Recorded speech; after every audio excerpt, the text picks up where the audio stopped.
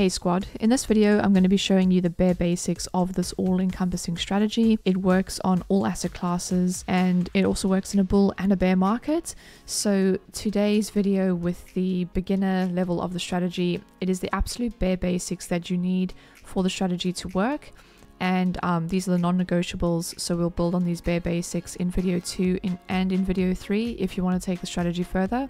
But this is absolutely the minimum requirements that you'll need to use the strategy. So first things first is we have to talk about the anatomy of a candle.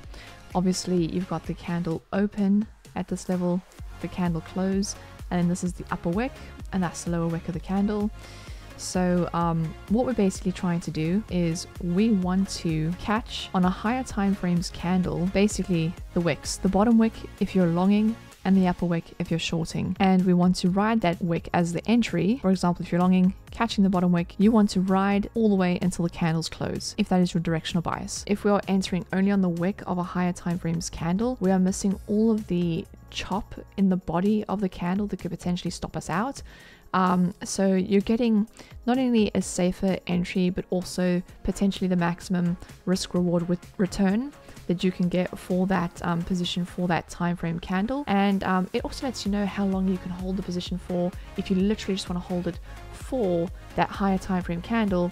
Uh, if we're on the weekly, and if you're entering the wick of this candle and maybe this wick was formed on a Tuesday, you know, great, well, I've got a few days that I can actually hold this for and um, wherever it's gonna you know end up is where I'm gonna take profit when it closes if your directional bias is correct okay? How are we determining um, what is creating the wicks on a higher time frame candle? It is actually market cipher B's blue waves um, on a lower time frame it is the overbought and the oversold level of the waves is creating the highest probable wick formation on a higher time frames candle. It won't always be the case that you will have an overbought wave creating the wick. Let's just say there was a very tiny wick on this higher time frames candle. Perhaps the wave didn't get that high. You know, perhaps it got up uh, just to there. Um, but the directional bias is longing in this candle's uh, sake. So you would actually be looking for the oversold level on a lower time frame to catch the bottom wick of the higher time frame candle and then ride it to the close to take profit. Here is a summary of the time frames that we are using for the lower time frame overbought and oversold levels. It's going to be 1 minute, 5 minute, 15, 1 hour, 4 hour, depending if you're scalping or swinging. And then for the higher time frame, we've got the 1 hour, 4 hour daily, weekly, monthly. Just for those of you who haven't used Market Cipher B, the overbought and the oversold levels are it's positive 60 and negative 60 on my chart. So we're going to go back and look at a few of these. The next part of the video is I'm going to show you how you determine the directional bias. We need the directional bias. Then we know with a high probability if this candle is going to close bullish or bearish. And if it's going to close bullish, we know that we are trying to catch the bottom wick of this candle. And inverse, obviously, if it's bearish, we want to catch the top wick of the candle. So if the type of person that you just want it to be really straightforward and simple and you don't want to overthink anything, um, then this is the easiest way to do it. For this example, I'm going to pair up the weekly and the one hour time frame. So weekly is going to be the higher time frame. We want to catch the wicks on the weekly candle. So a bottom wick on a weekly candle if we're longing and a top wick on a weekly candle if we're shorting. And we're going to use the overbought and the oversold levels on the one hour to show you these entries once we've determined the directional bias. Directional bias, easy version, you're using the higher time frames, open dot on market cipher B, but only when, if it's also a candle body closing across the 8 EMA following the dot. I'll just show you what I mean by that. So you've had the green dot just there on market cipher B. You might say from the next candle, you're looking the dot and when the dot occurred, price, a body close on the, the weekly candle had crossed above the 8 EMA. That's what this purple pink line is. So that's what you're looking for. You can see here with this uh, short dot, it wasn't fully perfectly closed under the 8 EMA. So you had this this bullish candle first and then it went under. So it's important that those two things marry up. And I've just marked the current one as well because the dot and then following the dot, the price was actually above the 8 EMA. So that is how we're determining our directional bias. So all we're saying now, basically with this being mapped out the way it is, we are wanting to catch, and this is going into the next section of the video for the entry criteria, we basically want to long the bottom wick of all of these weekly time frame candles. Obviously, when the trend is changing, you're going to have this churn of one or two candles. And then from this point onwards, we're saying we want to catch the upper wick of all of these candles to short the weekly candle. And then we're going to use the one hour time frame to achieve the catching of these bottom wicks to long and these upper wicks to short. Okay, so for the entry criteria, I'm just going to start with this quickly. You do have to mark the open price level of each higher time frame candle. So on the weekly chart, I've quickly just marked up every single candle, um, just a vertical line, and that will show us where that candle opened. That's very important for the next thing. Let's drop down to the one hour time frame and I'll show you why. Okay, so we're going to look at the longs first. So this is the criteria to actually enter the long. You've marked the open of each of the higher time frame candle. All of these green bars is representing the weekly open, right? So this whole period is one week and that's you know, for all of these, okay? So what I do is I just take a bar, and I know there's indicators that do this as well, uh, you know, where you can check the open price of the weekly, daily, whatever time frame pair up you're looking at.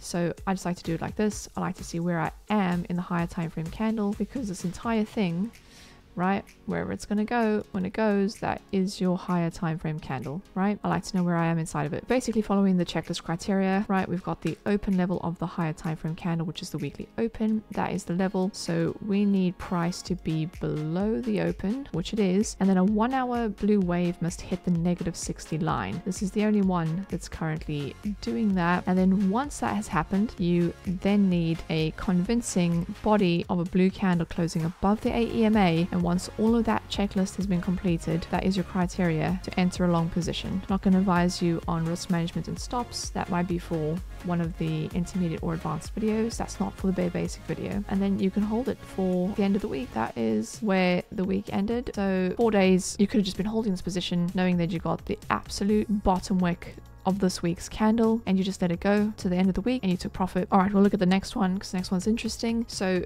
price was below the weekly open. You had that anchored wave there, but then um, by the time the price closed above the 8 EMA, uh, you were then above the weekly open. So maybe not taking that one, if you thought that you could get away with a high risk trade, maybe you do. But the next time we have an anchored wave, we are again below the weekly open. And in this time, when we get a convincing candle, not this long one, the one after that, full body, candle closing above, that would be your next potential entry. That's how it filters out bad trades potentially. This one was also skirting.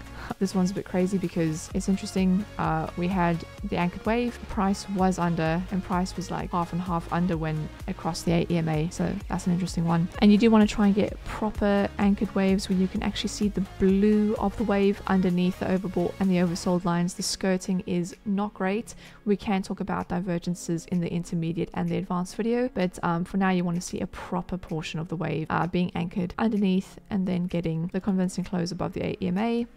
We'll just do one more and then we can move on to the shorts and have a look at those. So on all of these weekly candles, these were the bottom wicks using this criteria. I'm just going to copy this. Um, we're going to move on to the short branch now. Okay, so the criteria is just the inverse now, right? So um, this is our weekly candle. And um, so is that one the weekly open the weekly open right? And that is the price level of this weekly open. And that is the price level of this weekly open. So price must be above the open okay? Great. Price is above the open over there. A one hour wave must hit plus 60 okay? We've got that happening over here. A one hour red candle body must cross down on the 8 EMA for shorts okay? Wonderful we were having that over there. And on this one, this is unfortunate, um, you had the anchored wave just there. Price was barely above the open, and then you had the breakdown happening over here, and that was really dirty. We'll talk about regular divergences are the only thing that can stop you out of this type of entry. We'll talk about that in the intermediate or the advanced video. Um, but yeah, let's mark up another one. Okay, this one's interesting. You had two nearly, nearly equal highs on this. Let's have a look. Price was above here, convincing break below, enter a short there, convincing break below. Obviously, this is the higher price. So this was a better entry on this weekly wick than this was. You still would have gotten something for your trouble on that one.